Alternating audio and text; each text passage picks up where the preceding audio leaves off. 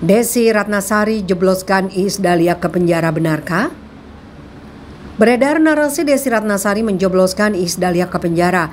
Hal itu ditengarai karena artis yang kini menjadi anggota DPR RI itu tidak terima lantaran disebut sebagai orang ketiga. Klaim itu disebarkan melalui video yang diunggah oleh kanal YouTube Berita Artis hari ini. Dalam unggahannya, kanal YouTube yang telah memiliki lebih dari 579 ribu subscriber menuliskan judul sebagai berikut. Hari ini, artis Iis Dahlia resmi ditetapkan sebagai tersangka. Satrio malah ceraikan Iis Dahlia.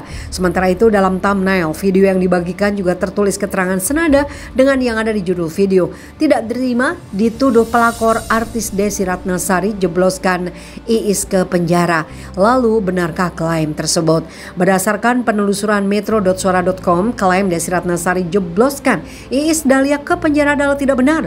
Dalam unggahan berdurasi 4 menit 3 detik tersebut sama sekali tidak menguraikan dan memberikan bukti valid terkait klaim yang telah ditulis di bagian judul video.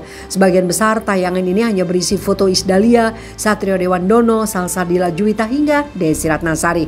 Selain itu, narator dalam video ini justru mengulas soal rumor keretakan rumah tangga Isdalia dan Satrio Dewandono. Terlepas dari isi video tersebut hingga sekarang juga tidak ada informasi valid atau kredibel mengenai kabar Desi Ratnasari menjebloskan Iis ke penjara. Berdasarkan penjelasan ini maka dapat disimpulkan bahwa narasi Desi Ratnasari menjebloskan Iis ke penjara adalah tidak benar. Unggahan dan kanal YouTube berita artis hari ini tersebut masuk dalam hoax kategori konten menyesatkan.